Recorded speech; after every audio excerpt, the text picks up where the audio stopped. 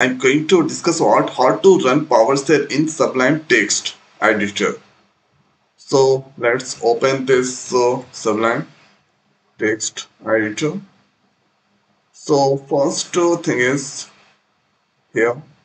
If I go on this uh, Tools tab, then Build System, you cannot see this place PowerShell. So PowerShell is not there. So what we need to do? So first here, let's go on this tool tabs, then command palette, then uh, this place you need to write here package control. So click on this package control and uh, wait for few second times and for this one internet must be connected. So now you can see package control was successfully installed. Okay package control that install. After that go on this tools tab once again go command palette. And when you install this package control then you can see here package control install package you need to click there.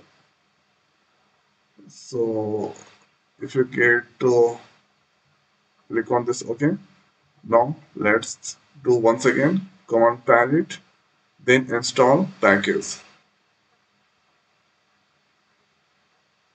and wait for few second times because here it was loading. Now this place you need to search here power cell. Then you can get here support ms powershell programming language. So you need to click on this then here you can see installing PowerShell. Now package PowerShell uh, successfully installed. Now when I go on this tools tab build system you can see PowerShell that's come there. And after that the next is let's uh, write the hello world programming.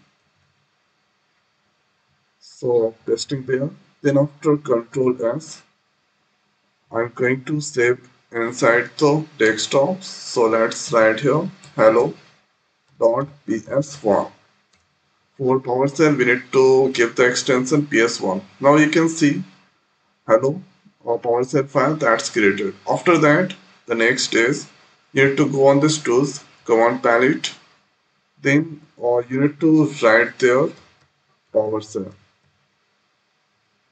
okay so if you write full PowerShell, then you can see here build with PowerShell.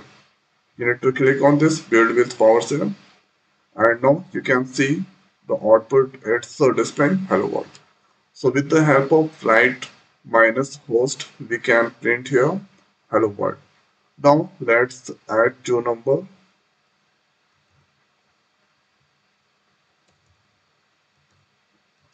Control S to save then again you need to go on this tools command palette. And there you can say build with PowerShell you need to click there.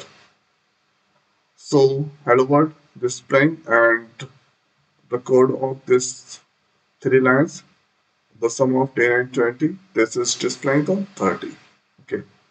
So this is the most uh, simplest way we can run PowerShell in Sublime text editor so i hope guys this video is helpful for you. So now this video is over. So thanks for watching. See you next video thank you